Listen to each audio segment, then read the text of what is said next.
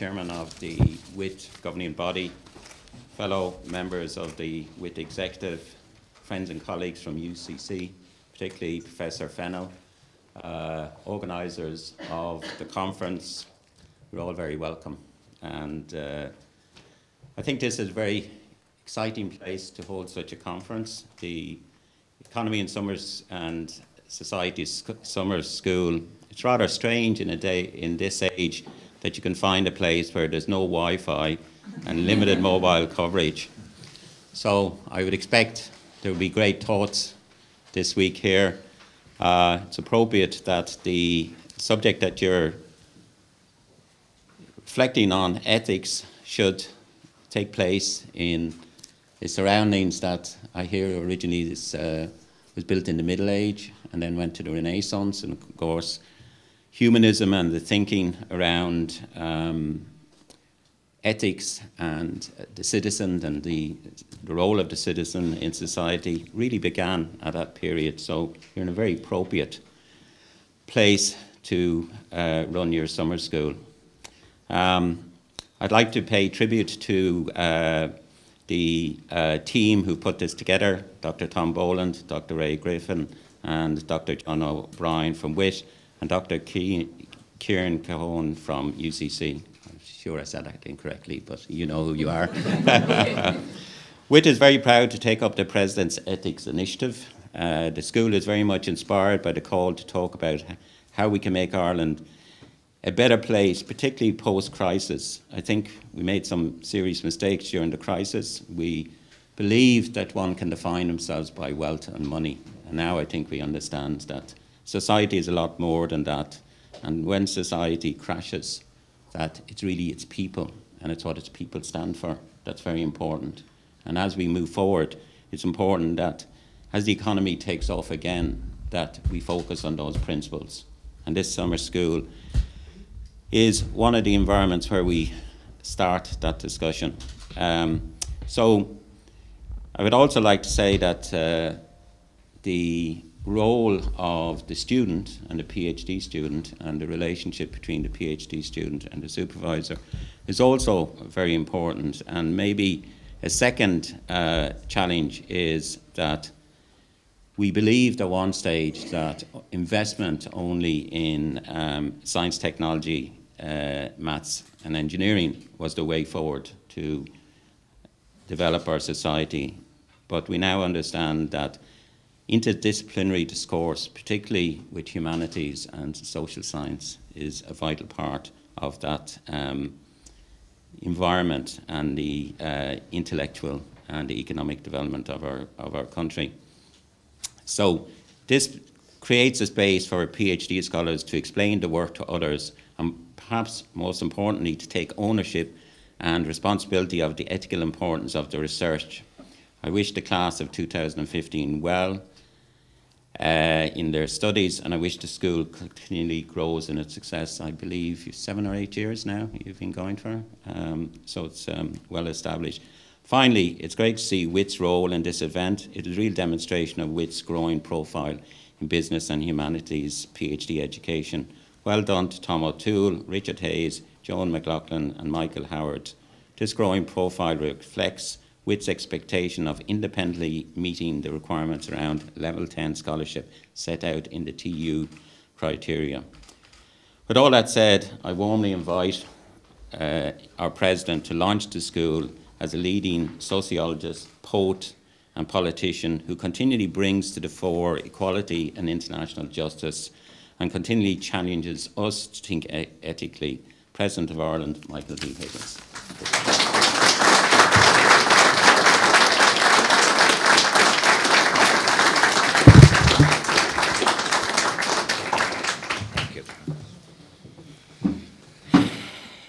Well a gunnig cóir ar an gédal sétó áhas am félih an sear fad agus tús an teachtain seo agus gealan an an teachtain a bheith torthúlar le bheith acadúla agus gan éon ahras le lé bríomh an intellectúil agus is mí le a bhuichas a ggóil leis na hegrathe san cuiire tíocht agus an cógála ag acadúil se táhachtach seo cheola.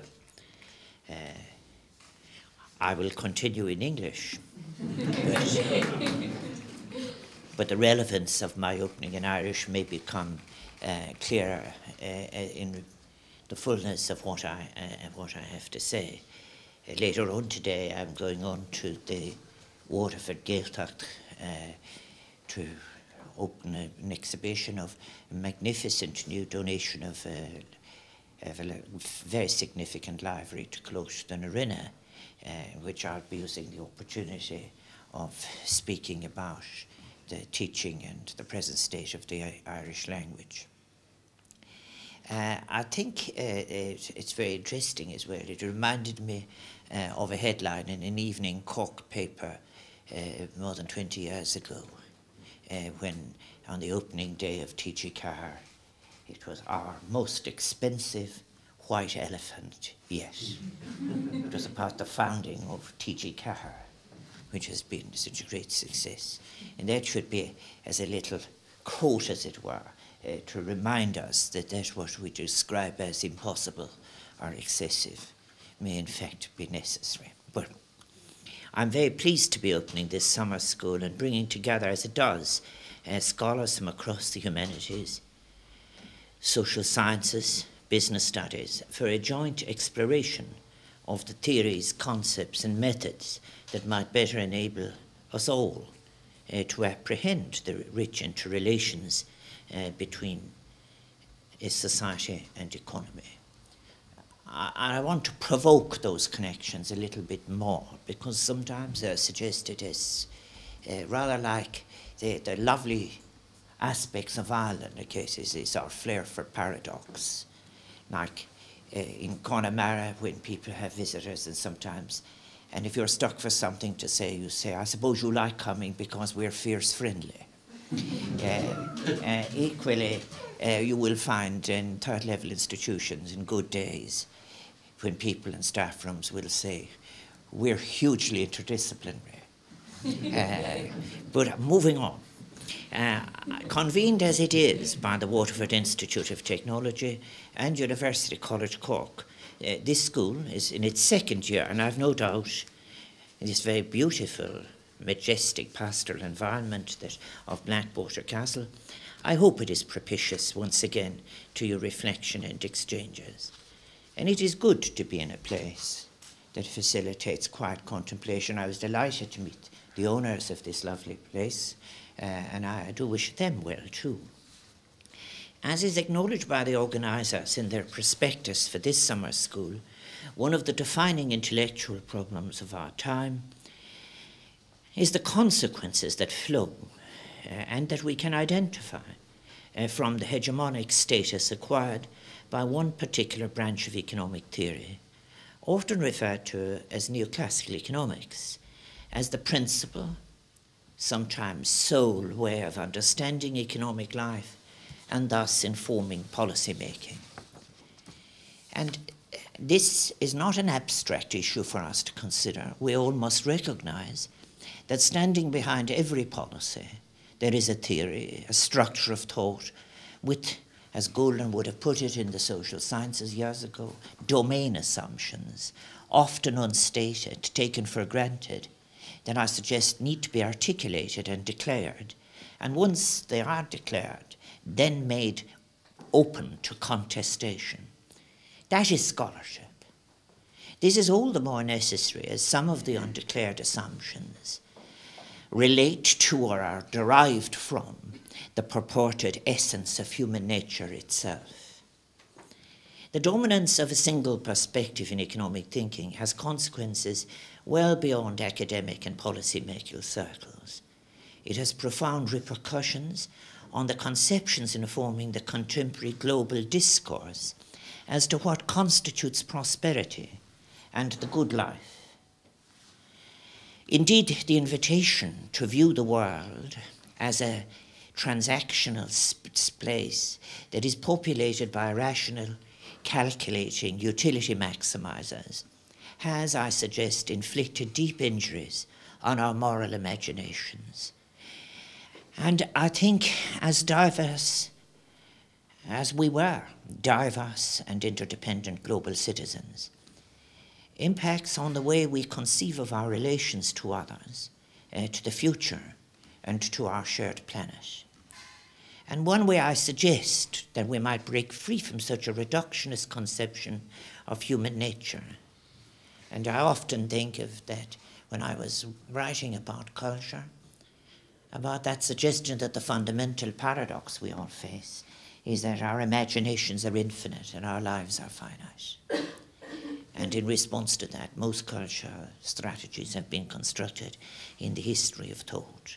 But if we are to break from a reductionist conception of human nature and social relations, eh, and to, it requires re anchoring economic theory in its rich ethical and philosophical sources.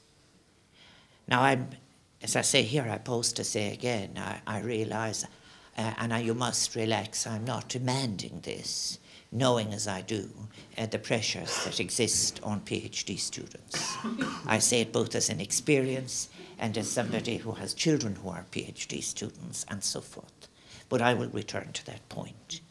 I'm delighted, therefore, that this uh, summer school was developed under the auspices of the President of Ireland's Ethics Initiative, and that your programme gives such a central place to the study of relations between ethics and economics.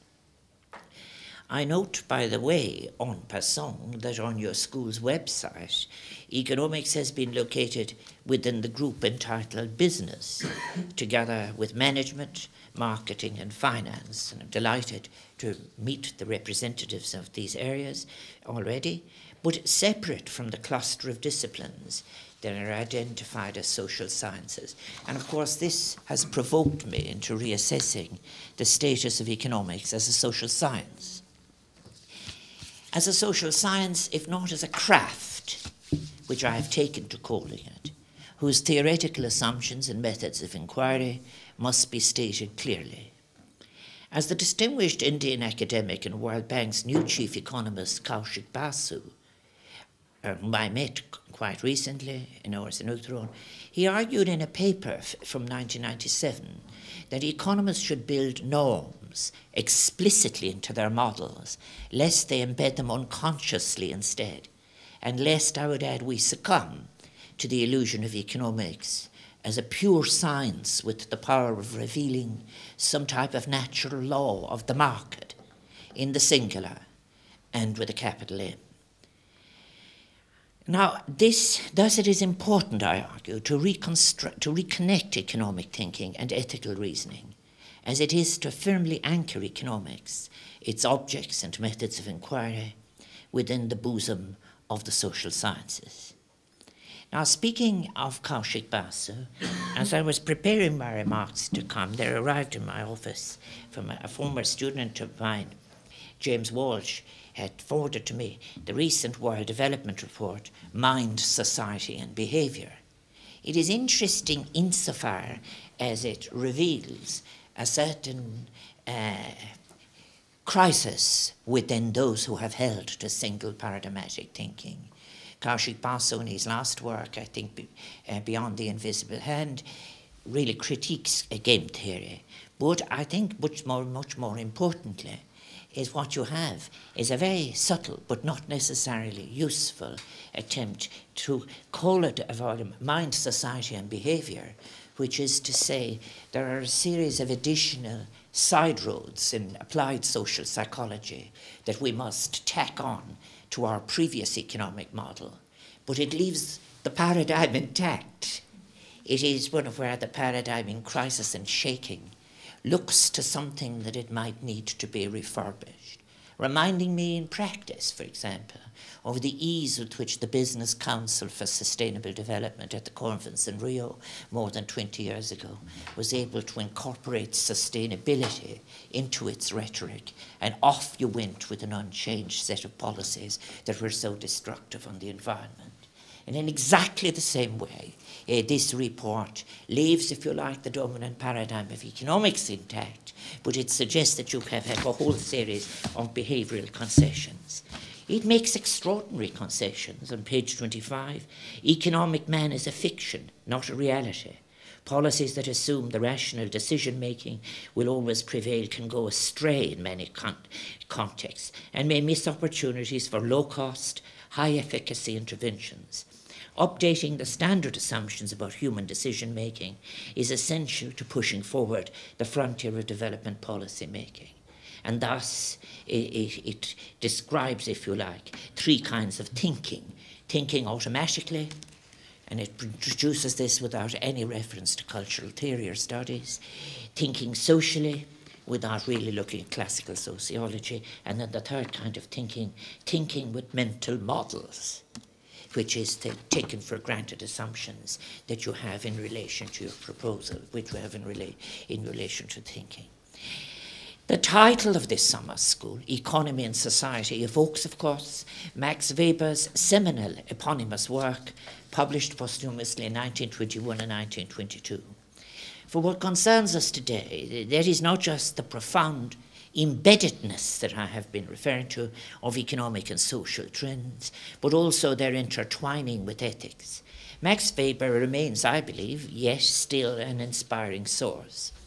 Indeed, the effort to understand the connections between institutions, identities, practices, values, sociality, subjectiveness, was central to the late 19th and late and early 20th century writings of such great social theorists as Marx, Weber, Simmel, and Durkheim. My personal opinion that the neglected one of those is Simmel, who has so much to teach us. It is my profound conviction that there is today, again, an acute need for an integrated scholarship capable of embracing at once the social, economic, political, as well as moral and intellectual, ideological dimensions of both collective and individual life. The current status of mainstream economics as a hegemonic source of norms and practices has been analysed by many distinguished scholars. Sociologist Michael Callon, for example, has convincingly argued that there is a performative quality to economics, in that most social institutions favoured by economists, such as, for example, private property rights, are effectively ways of making values calculable and turning people into calculating agents. There is very interesting work on, if you like, everything on calculation, from the moments of cadastral mapping in the work of such as James C. Scott and others, which encourages me to say we paid a high price, if you like, for not having anthropology grafted in to the formation of our intellectual work. While many of his fellow sociologists usually challenge economists for thinking about the market in overly abstract terms, Callon contends that it is precisely this act of engaging in economic abstractions that fosters calculability. Economic markets, therefore, are embedded not just in society and culture, but in economic knowledge itself. Now, I could make a wry comment that you should not have had to have to be awarded the Nobel Prize to revise your thinking in economics. But as I read back through those most recent recipients, including Stiglitz, as we know, there is now really no great confidence in defending any of the measures that are used to describe uh, uh, to describe the economic. Yet it continues as a kind of residual in the backwaters of economic and policy thinking. By thus emphasizing the centrality of economics in shaping so many aspects of contemporary life, I'm not disputing the relevance of this discipline. I am quite the contrary, fully aware of the value of the abstract econometric tools and parsimonious modelling techniques embraced by economists in their pursuit for patterns that are widely generalizable and hence rendered all the more relevant to policy making. Indeed, as I am in County Cork, you remember the famous County Cork economist in the history of thought who said, I am not going to communicate any longer in words. I'm going to do so entirely in figures. So it, is an interesting, uh, it is very interesting to, that I make that point. Because I want, quite as I am here, and we're early in the summer, uh, to raise the point that those of us who are interested in philosophy and ethics and interested in the integration of scholarship are not illiterate in economics. Quite the contrary. I regard, for example, some of the practices that are used within econometrics as instruments. those who are interested in patterns of knowledge will know that they don't make, they wouldn't be sufficient to be a method, and they would be very far, far short of a theoretical paradigm. And there is nothing wrong with having good instruments, although I am concerned sometimes that the statistical measures being used simply are not consistent with the mathematical assumptions that are at the basis of the measures themselves. I frequently remember that in those days before I stopped doing empirical sociology myself in the in, relation to those measures which I remember learning in the United States for example, using measures that assume conditions of a sample and theory that in fact are not met but are there in the end for a kind of quiet decoration in papers. One of the most critical elements of methodological parsimony, derived from classical economics, has been perhaps the paradigm of the self regarding choice making individual. Often simplified, as I have said, as a utility maximizing agent in neoclassical theory. Paul Krugman put it like this Homo economicus is an implausible caricature, but a highly productive one, and no useful alternative has yet been found. This may be true, I would, however, compound Krugman's contention by another of my visitor, Kaushik Basu's insights. The realization more than 200 years ago that much of the order that prevails in society can come about from individuals pursuing their own selfish ends was stunning. It was stunning indeed. It has rightly been epitomized in lengthy monographs and pithy theorems. But to go over to the other extreme and assume that the order and collective efficiency that we see occur invariably because of individual incentive compatible systems is to handicap our understanding of not just society and polity, but also the economy itself. Thus, parsimonious modelling and abstraction does involve some real gains, but also real losses. Thus, economists should always be wary of bringing back these strategic losses into the picture when interpreting outcomes, and also, most importantly, when advising policymakers. Behind every policy suggestion stands, some declared, some mostly undeclared set of theoretical assumptions. There is another way in which a reflection on ethics is important to this summer school. Over the next few days, you're invited not just, I looked at the list of papers, which are very interesting, you, you're invited not just to examine the manner in which your various research projects apprehend the relations between economy, society, and ethics, but also to discuss the values and principles which you, as conscious subjects, regard as fundamental to your scholarly practice, and more broadly, to our living together as a society. You are invited, in other words, to engage with ethical reasoning, not only as rigorous analysts and observers, but also as concerned scholars and citizens. I have to say, I have some experience myself of this. I, due to um, an illness in the family, I came back from the United States having started one PhD. Then I went to Manchester University and read in the anthropology department, where I came back to stand for election for the Labour Party. Then later on, as I was involved in another program, I was uh, I became a minister and so forth. Uh, I am, uh, my, some of my academic conclusions are a victim of my public life, I suppose. But one of the things I remember in Manchester, which was very interesting, meeting African students, uh, travelling, uh, uh, and when we would meet occasionally in the very bad conditions that were Dover Street at the time, they would say, well, how are you? What are you doing? He said, I have all my data with me uh, on the Xhosa, say but I'm just looking for a theoretical model. So we were looking for theoretical models uh, where they might occur and, and, so forth. And there was a fine tradition in the scholarship as well, distinguished anthropologists like Max Gluckman, who would say of Bruce Kapferer in his Wednesday afternoons, which he presided over majestically. You could ask a question, Bruce, you'd have a good question. And then I remember a lovely moment as well when someone asked me, Mr. Higgins, you must tell us some time about your own people. And there I was, the first Irish person invited to take my place among the Xhosa and the Nuer and the others. I, it was a, an uplifting moment. Uh, anyway, I must return. I think uh, uh, in this too, inspiration can be found, I think, in Max Weber's conception of scientific methodology, as serving not simply as a guide to investigation, but as a moral practice and a mode of political action.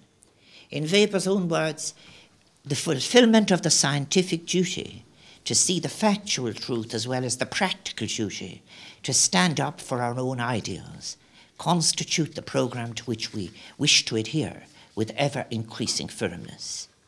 So the questions we're left with there are what type of intellectual work is required as will enable us to make all these new beginnings to which we aspire. Which virtues should academics cultivate in contemporary society? How might their scholarship address the great challenges of our time? How to imagine a better future and not be defeated by the present?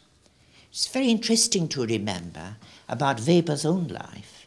I calculate Weber gave less than 60 lectures. But you get the burst of energy he gets in the anticipation of war, which actually can uh, changes uh, the writing. But we are now in a rather interestingly similar position how to imagine a better future and not be defeated by the present in the face of the deep pessimism that is currently prevalent in the social sciences. Such a questioning underpins this summer school's programme, encouraging as it does participants, doctoral researchers, and I so wish you were, and I want to return to that point, and faculty alike, to imagine alternatives to our contemporary condition by exploring the, the neglected ethical sources and moral foundations of social life. I know that most of you here are PhD students, and it seems to me that this is a most valuable reflection to undertake during those formative years of your doctoral studies, years during which you're exploring a variety of concepts and theories, testing the boundaries of your research, and also sharpening your ideals and ideas, and reflecting upon your role in society as scholars and intellectuals. And I wish you the freedom to do all of that. And I wish also that the great shadows of neo utilitarianism be lifted from your practices because this is so important. This is scholarship. And institutions that describe themselves as institutions of, of, further scholarship must respect that kind of freedom. The titles of the papers which will be presented uh, throughout this week show that many of you are grappling uh, with uh, contemporary problems, and that is very important. I think that the questioning, as I said, that you're doing is so you're exploring concepts, theories, testing the boundaries of your research, sharpening your ideals, as I've said, and that is very, very important. But the papers, as I read the titles, the papers show that most of you uh, are interesting are to engage in subject matters that have an ethical overtone. Could I just at this stage say uh, on that topic? There is something that has struck me from different settings where postgraduate work uh, uh is undertaken, is the importance of us putting a non-Western value into it. I'm speaking of the role of kindness. I gave you an example, if it were, of somebody presiding over a postgraduate seminar all those years ago, uh, more than 40 years ago, as a kind of uh, master uh, conducting a, a, a, class. I think there is absence of kindness in intellectual discourse.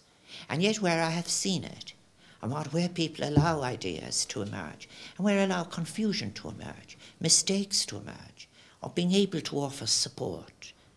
The kind of uh, intellectual discourse that values kindness, the difference between, for example, insatiable intellectual curiosity with which people begin, and a kind of vulnerable anxiety as they seek to comply. These are issues you should address as part, if you like, of the life world of, of, of, of researchers and scholars. And they are matters that are very important in the structure of the administration of institutes of technology, universities, all third level institutions, uh, it seems to me.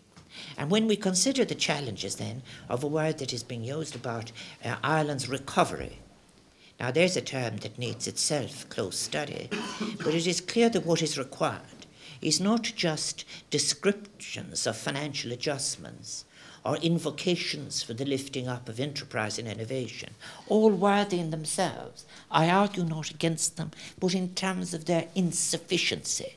There is also need for a revitalization of our moral and intellectual foundations.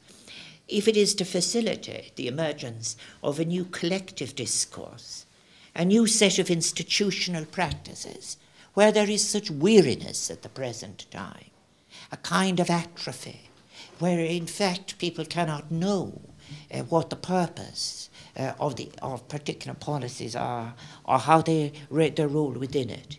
That includes academic practices.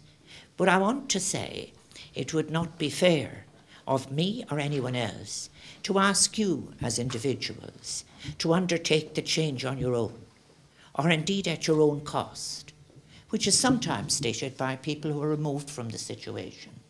You cannot do it on your own. We must together ask ourselves how we might be clever, how we might strategically operate so as to achieve the change required with subtle and effective measures. And that requires a kind of solidarity, an interdisciplinary solidarity of scholarships, recognizing the sheer beauty and privilege and joy it is to be able to have an insatiable intellectual curiosity. We need a new language to address the manifold intersections of the economic and the social. New perspectives to manifest the large range of ties that exist between material and moral visions of human well being. We need to widen our conceptions of how human beings engage with one another and with their collective future. I read Arpad's papers, for example, on the concept of home. I would add to that as well to say the neglected concept of intimacy. How do we move from these very, very fundamental relationships that moved us from persons to places?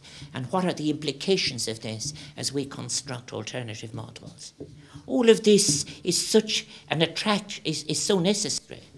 I think uh, we, what we need to depart from is a reductionist vision of human nature as fundamentally self interested.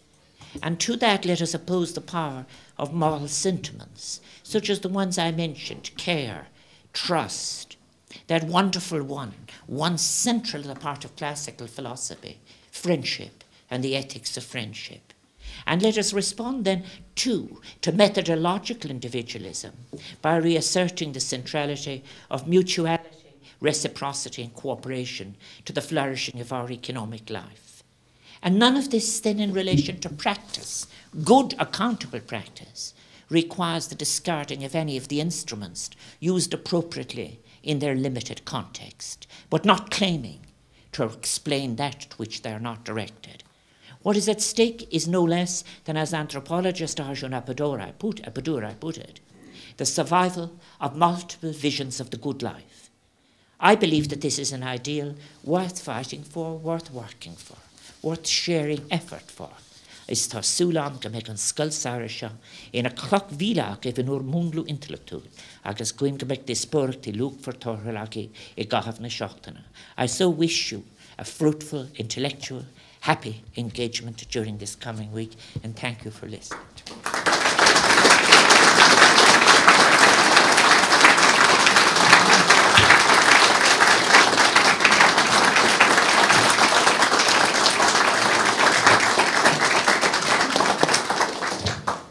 And now I would like to invite Arpad Szakolczai to give an address. Thank you very much.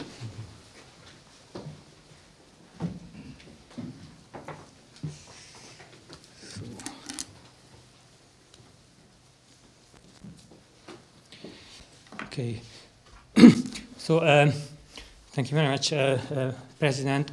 I think that we uh, at UCC, Cork, and WIT uh, Waterford, uh, social scientists, uh, really appreciate the opportunity which is given here in Ireland by the fact that the president of the country is not only uh, somebody who lectured in sociology, but who also has a deep-seated interest in ethical and moral issues which are underpinning uh, the economy. I think social scientists very often have a kind of inferiority, inferiority complex versus uh, economists, as if economics would be a real science and the social sciences are some kind of you know, watered down disciplines or discourses, but the real hard stuff, real pure, pure science is in, in economics. And I think we are living in a times when uh, this assumption is increasingly questioned, and we have to do something really of following up what these assumptions are and how they are wrong.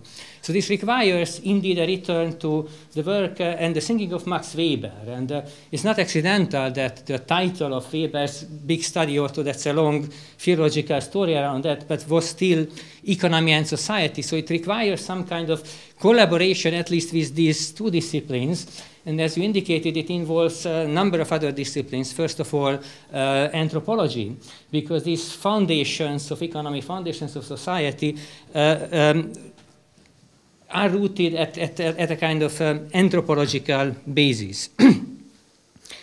so uh, how, to, how to proceed the summer school to a large extent will be around that issue. And of course, we are all rooted in various disciplines and we have our disciplinary background, but we still try to reach out. And that's the reason why in this summer school there are people who are from sociology, from economics, from business studies, sort of from anthropology. So we are try, trying to reach beyond.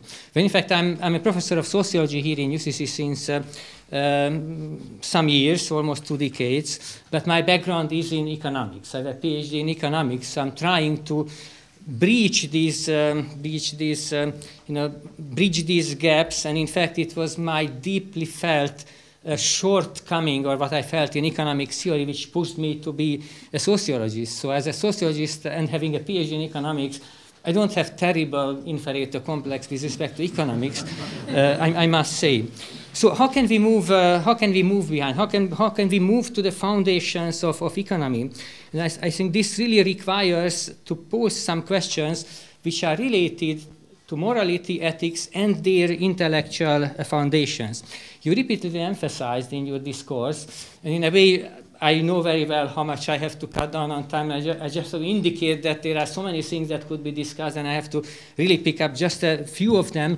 And one of the most important was this deep-seated need to revisit the intellectual foundations of, of, of economics, uh, economic thinking, justice society, and uh, and moral thinking. So, what, what are these? Uh, what are these um, foundations? How can we how can we go and think about in a different way than, let's say, economic theories think about the Homo economicus and this kind of, this kind of models.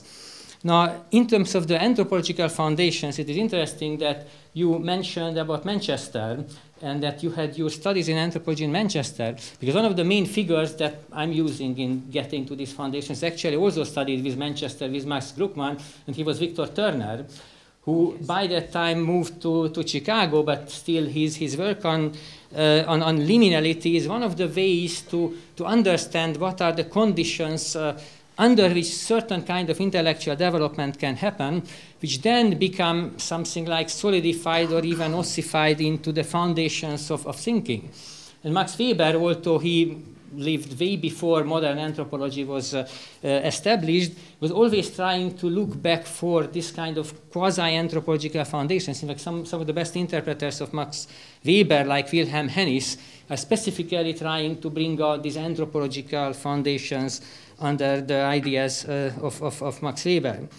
So uh, let me just mention a few of these uh, foundations towards, uh, or, or kind of revisiting of the foundations.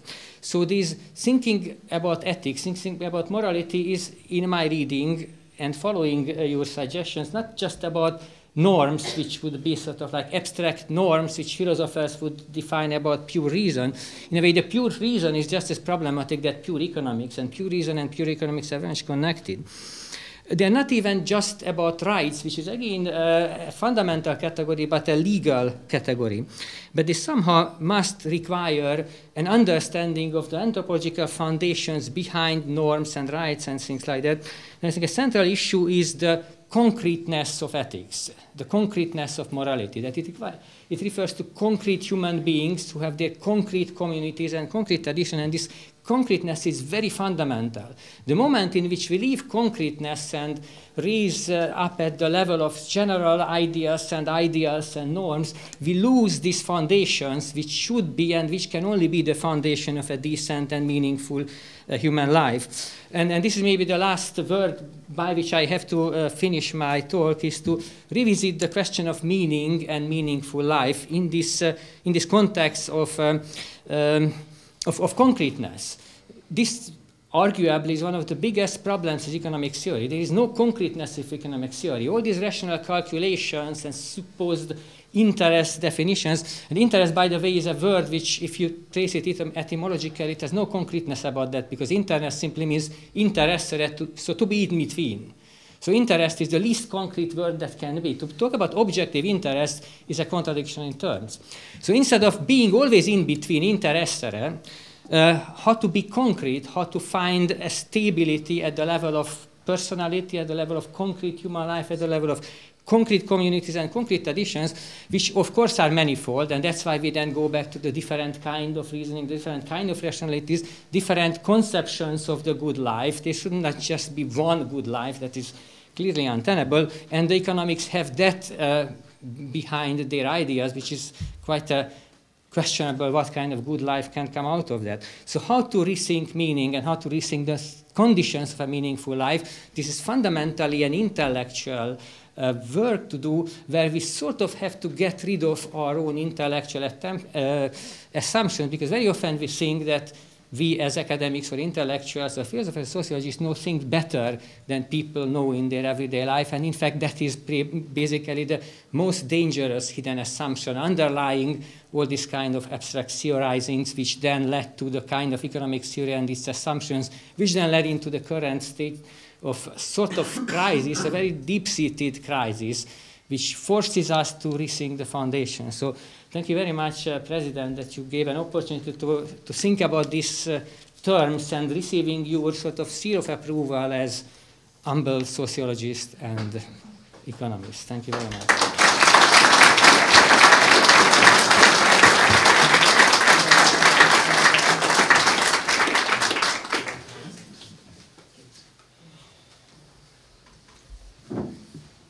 Okay, so very interesting and there's huge food for thought and just like to thank very much again President Higgins for opening the event and really giving us this kind of deep deep themes to really think about. So so what I'd like to do now just as a gesture of appreciation, a very humble gesture is just to provide a gift of some of our works. So there's a we have a, a lot of reading.